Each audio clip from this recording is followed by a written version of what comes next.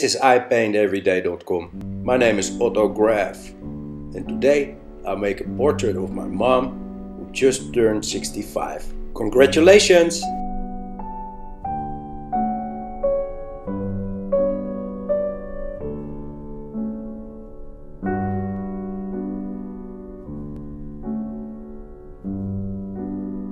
My mother is great. She's always smiling. It's funny how time flies.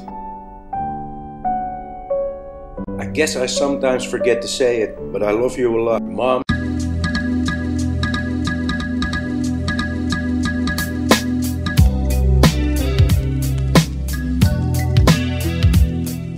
I have decided to paint no more noses because I don't like it. Look, Mom, I made you look like a rock star.